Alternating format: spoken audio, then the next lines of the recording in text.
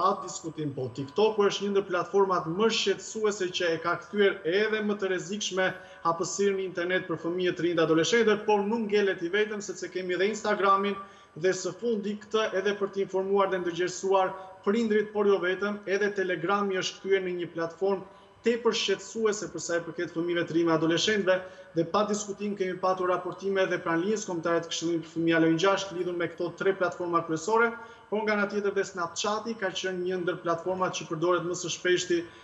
për fëmijët.